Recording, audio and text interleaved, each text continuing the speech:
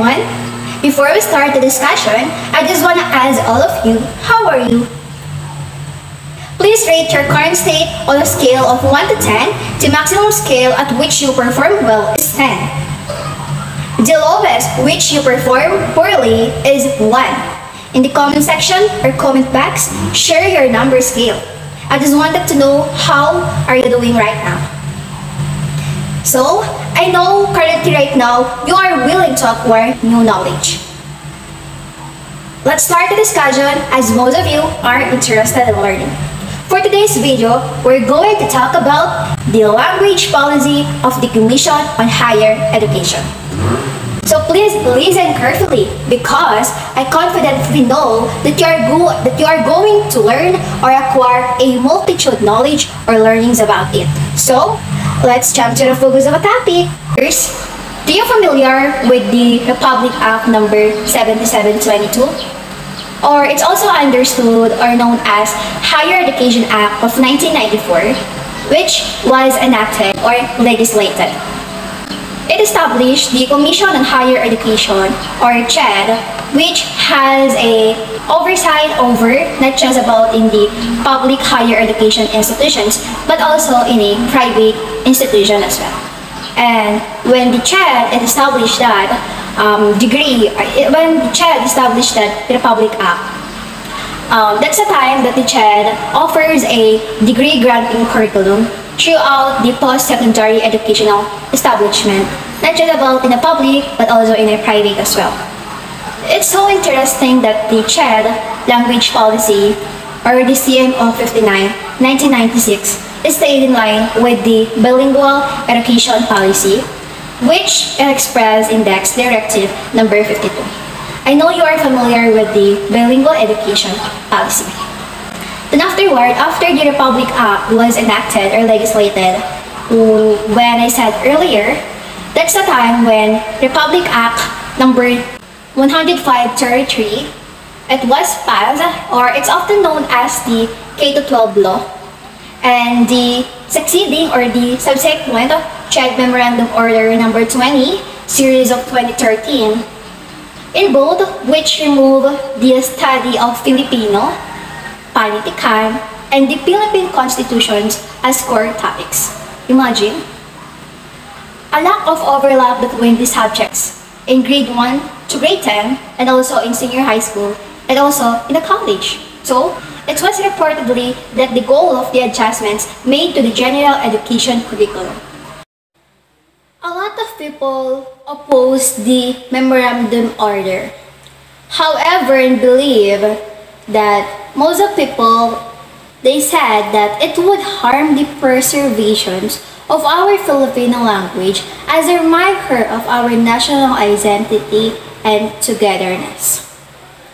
As a result, multiple petitions have been passed and filed with the Supreme Court or the SC.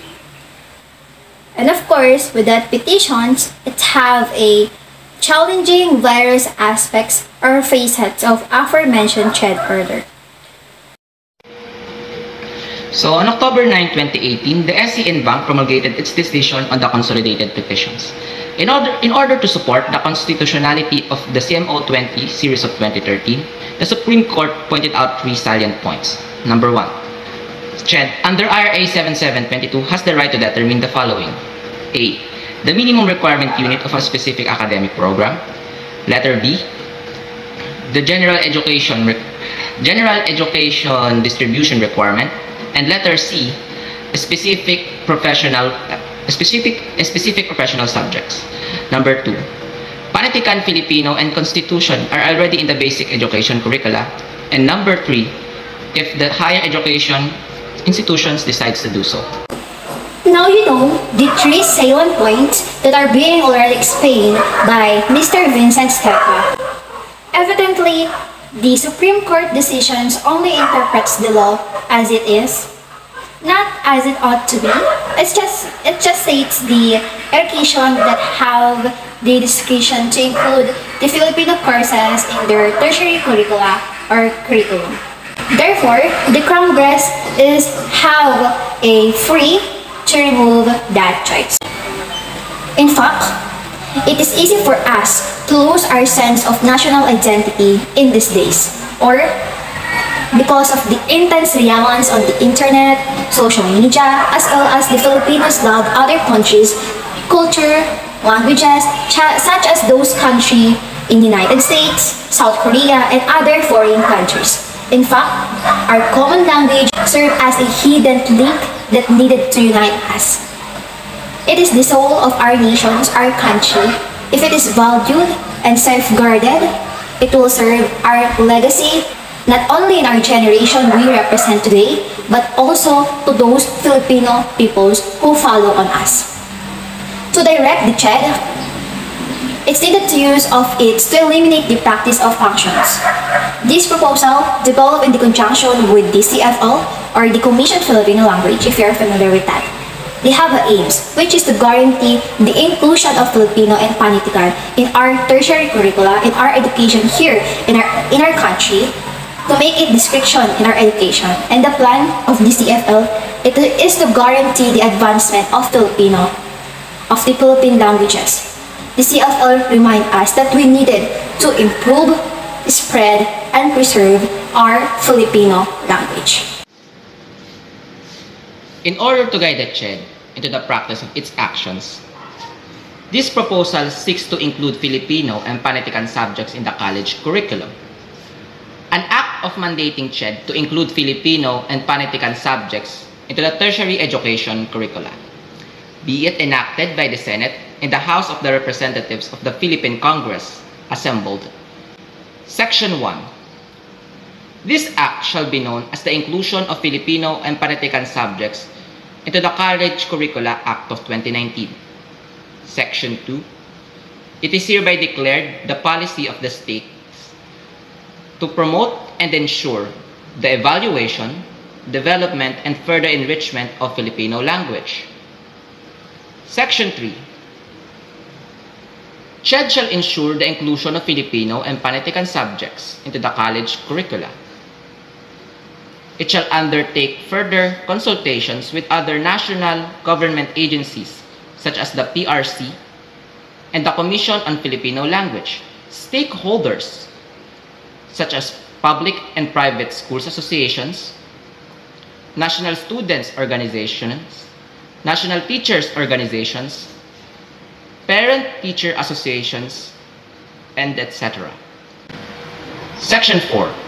All laws, presidential decrees, executive orders that are inconsistent with this act are hereby repealed or modified accordingly. Section 5. This act shall take effect after 15 days from its publication from the Philippine Gazette. For the conclusion, our topic mainly revolves under the CMO number 20 series of 2013 that seeks to the exclusion of Filipino and Panitikan as core subjects in the universities in order to avoid repetition of classes. The CHED defends this act by stating that it is not really removing the educational freedom of the universities and they can still include these two subjects in their curriculum. Despite this, however, many group of people such as the Tanggol Wika stated that this act is anti-Filipino and presented many petitions in the Supreme Court. In October 9, 2018, the Supreme Court and BAC promulgated its decision towards these petitions. In order to support the constitutionality of this act, the Supreme Court presented three salient points. Number one, the CHED under the RA 7722 has the right to declare and decide the minimum required unit for a specific academic program. Number two, Panitikan, Filipino, and Constitution subjects are already in the basic education curricula. And number three, if HEI decides to do so. It is quite clear that a group of people, such as the CHED, believes that the CMO number 20 series of 2013 does good things, while others, such as the Tanggol Wika, are anti to CMO number 20 series of 2013. But as a student, it is quite clear that we still need Filipino subjects in our curricula because there are things such as, for example, the short nang and the long nang that many people still are confused about. So it is quite clear for us that we still need Filipino and Filipino language still needs uh, still needs us. And that's all for today. Thank you. And here are the references. And that's all. Thank you for watching everyone. Again, I am Catlyn Esbon from BSE English 1B together with Mr. Vincent Stepa. Thank you for watching. I hope you learned a lot from this discussion. Keep safe and God bless everyone.